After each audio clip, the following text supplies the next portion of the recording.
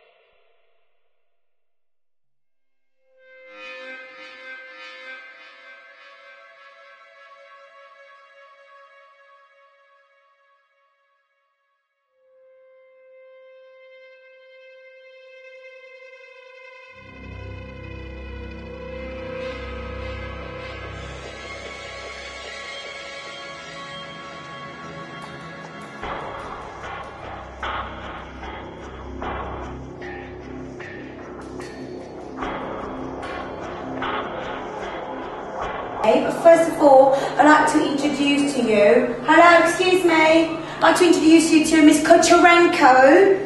And Today, girls. Yes? Do you feel a lot more confident?